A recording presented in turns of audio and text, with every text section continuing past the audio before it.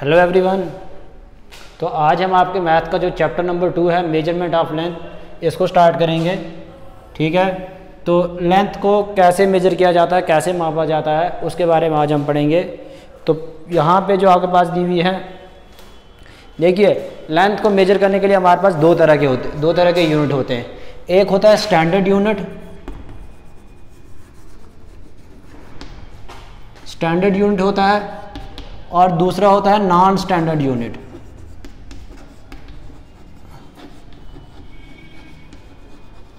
standard unit आपके पास जैसे मीटर आ गया किलोमीटर आ गया सेंटीमीटर वो जो यूनिट्स आ जाते हैं, वो स्टैंडर्ड यूनिट में आ जाते हैं और नॉन स्टैंडर्ड यूनिट में आ जाते हैं जो हम क्या करते हैं? अपने हाथ से मेजर करते हैं, अपने पैर से, अपने एल्बो से जो डिस्टेंस को हम मेजर करते हैं लेंथ को जो हम मेजर करते हैं, वो हमारे पास क्या जाते हैं? नॉन स्टैंडर्ड यूनिट में। जैसे आप हाथ से ऐसे मेजर करते हो, ठीक है? इस लेंथ को आप मेजर करोगे, इसको बोलते हैं हैंड स्पैन तो इससे जो नापते हैं, ये भी नॉन स्टैंडर्ड यूनिट में आ जाती है। ऐसे आप मापते हो, या फिर ऐसे आप मापते हो तो ये क्या आ जाता है आपके पास? नॉन स्टैंडर्ड यूनिट में या पैर से। तो इस चैप्टर में हम पढ़ेंगे लेंथ को कैसे मेजर किया जाता है, उसके बारे में। तो पहली एक्सरसाइज आपके पास है एक्सरसाइज 2.1 यहाँ पे दिया हुआ है name the standard unit of length that you will use to measure the following length आपको स्टैंडर्ड यूनिट बनाने लेंथ के, जिससे जो आपके पास नीचे जो पार्ट्स दिए हुए हैं, इनको हम किस स्टैंडर्ड यूनिट से मेजर करते हैं, वो आपको बताने हैं। तो यहाँ पे पहला पार्ट दिया हुआ है लेंथ ऑफ़ यूर पेंसिल ठीक है? पेंसिल बॉक्स जो आपके पास है पेंसिल का जो बॉक्स होता है, उसकी लेंथ आप किसमें मेजर करोगे? तो उसकी लेंथ को जो मेजर किया जाएगा, किसमें? सेंटीमीटर में मेजर किया जाएगा। ठीक है? उसकी लेंथ जो है, किसमें मेजर होती है? सेंटीमीटर में।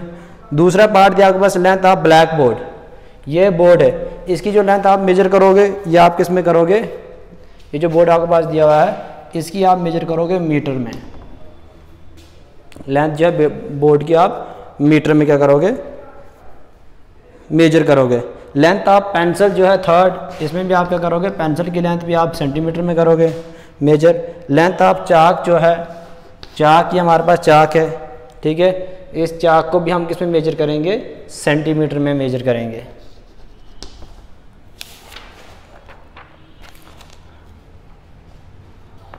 यहाँ पे क्वेश्चन नंबर टू दिया हुआ है tick the object that measure more than one metre ठीक है? चीज़ों का आपने क्या करना है? टिक करना है जिनकी मेजर क्या है?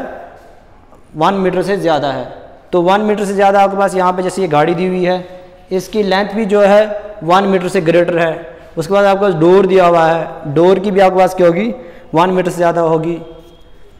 और ये पेंसिल इरेजर बेल्ट दी हुई है तो इनकी क्या होगी? वन मीटर से लेस होगी। तो इसकी एक्सरसाइज जो है एक्सरसाइज नेक्स्ट स्टार्ट करते हैं। 2.2 जो एक्सरसाइज है इसकी।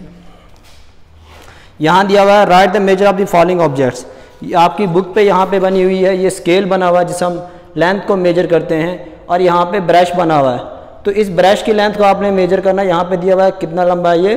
ये बिल्कुल फाइव के सामने तो ये कितना आ जाएगा? फाइव सेंटीमीटर ये स्केल जो आपके पास फिफ्टीन सेंटीमीटर का स्केल है और इस ब्रश की जो लंबाई है वो फाइव सेंटीमीटर इसी तरह बी पार्ट है आपके पास, ये की दी हुई है। तो की कितने पे है? टू सेंटीमीटर पे। इस तरह पेन दिया हुआ है तो पेन कितना आपके पास? सिक्स सेंटीमीटर में। उसके बाद नीचे लिखा क्वेश्चन नंबर टू में use scale and measure the length of line segment given below या आपके पास क्या दी हुई है? एक लाइन सेगमेंट दी हुई है पार्ट्स में ए बी सी पार्ट में। आपने क्या करना है? स्केल को यूज़ करना और इसकी लेंथ को क्या करना है? मेजर करना है। तो ये आप घर पे खुद करोगे स्केल के साथ मेजर ऐसे आपको 15 सेंटीमीटर का मीटर का स्केल का लेना है। और उससे क्या करनी है? इस लेंथ को मेजर करना है। तो नेक्स्ट एक्सरसाइज की तरफ़ आ जाते हैं। एक्सरसाइज है 2.3 इसमें हम पढ़ेंगे कि कन्वर्ट कैसे किया जाता है लेंथ को। यहाँ पे पहला क्वेश्चन है convert the following into centimetre question number one जो है इसका, ये आपके पास फोर मीटर है। इसको आपने सेंटीमीटर में कन्वर्ट करना है। तो सेंटीमीटर में कैसे कन्वर्ट करोगे आप? देखिए वन मीटर जो होता है, किसके बराबर होता है? हंड्रेड सेंटीमीटर के बराबर। ये आपको याद रखना है। तो फोर मीटर किसके बराबर जाएगा? हम फोर को मल्टीप्लाई करेंगे हंड्रेड के साथ। तो कितना आ जाएगा ये? फोर हंड्रेड सेंटीमीटर आ जाएगा। ये आपको याद रखना है, जब भी मीटर को सेंटीमीटर में कन्वर्ट करते हैं तो उसको हंड्रेड के साथ आपने मल्टीप्लाई करना है। क्यों? क्योंकि एक मीटर में कितने होते हैं? हंड्रेड सेंटीमीटर होते हैं। तो इसी तरह जो बाकी पार्ट इसके वो भी ऐसे ही करने हैं। नेक्स्ट क्वेश्चन दिया है convert the following into centimetres अब दूसरे क्वेश्चन में भी क्या करना है आपको? सेंटीमीटर में कन्वर्ट करना है बट यहाँ पे जो पार्ट दिया हुआ है, वो दिया हुआ है वन मीटर 82 सेंटीमीटर एक मीटर में दिया हुआ, दूसरा सेंटीमीटर में दिया हुआ है, और कन्वर्ट हमें किस चीज़ में करना है इसको? सेंटीमीटर में. तो सोल्यूशन कैसे लिखेंगे? हमें इस चीज़ को चेंज करना है, ये इसको चेंज नहीं करना है. तो हम लिख सकते हैं वन मीटर को one metre 82 centimetre is equal to one multiply by hundred centimetre plus 82 centimetre तो कितना आ जाएगा ये? 100 सेंटीमीटर प्लस 82 सेंटीमीटर तो दोनों को ऐड करोगे तो कितना आ जाएगा ये? 182 सेंटीमीटर क्या आ जाएगा इसका? आंसर आ जाएगा। नेक्स्ट पार्ट भी इसका ऐसे करना है। Four metre sixty three centimetre next part में दिया है four metre sixty three centimetre तो फोर मीटर का क्या आ जाएगा? फोर हंड्रेड सेंटीमीटर और सिक्सटी थ्री में इसमें ऐड करोगे तो four hundred sixty three centimetre तो ये एक्सरसाइज इस तरह कंप्लीट हो गई. नेक्स्ट जो एक्सरसाइज है, वो हम क्या करेंगे? नेक्स्ट लेक्चर में करेंगे. इसका एक और क्वेश्चन है क्वेश्चन नंबर थ्री भी है.